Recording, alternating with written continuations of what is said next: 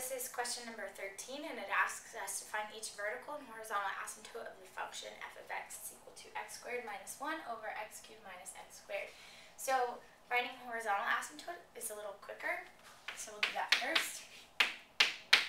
So horizontal asymptote, we just have to look at the degree of the numerator and the degree of the denominator. If the degree of the denominator is larger, then we know that is y equals 0, and that's the case for this problem. If the degree of the numerator is larger, then we know that we don't have a horizontal asymptote. And if the degree of the numerator and the degree of the denominator are the same, then we look at the ratio of the leading coefficients. So for us, the degree of the denominator, the highest degree is um, greater than the highest degree of the numerator, so it's just y equals 0. So now we're going to look for vertical and horizontal asymptotes. So I'm actually going to factor the numerator and the denominator out. That'll give me x plus 1, x minus 1, over x squared times x minus 1. So I'm looking for vertical asymptotes.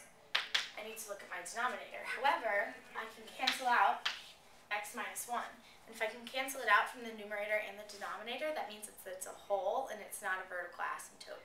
So our only vertical asymptote would be where x squared is equal to 0, which is just x is equal to 0. So your answer is choice C, x is equal to 0 and y is equal to 0 only.